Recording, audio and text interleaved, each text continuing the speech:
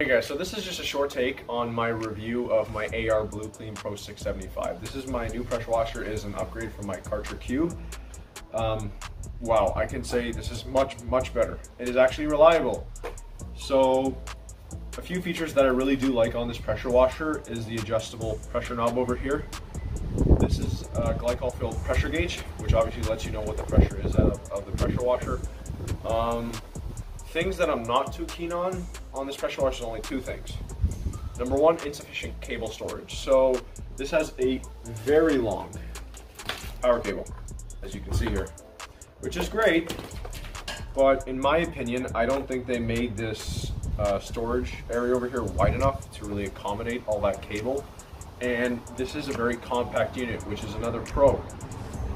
But it weighs 52 pounds, so I wish AR Blue made something more oriented for mobile detailers. This is really the closest I'm kind of going to get to it. But nonetheless, I would definitely recommend this pressure washer. Um, it is more expensive, like I said. I would only recommend it towards professional detailers and people who actually use pressure washers a lot. This pressure washer is also serviceable, so if any seal or anything goes out, you can just replace the part and the pressure washer will keep going.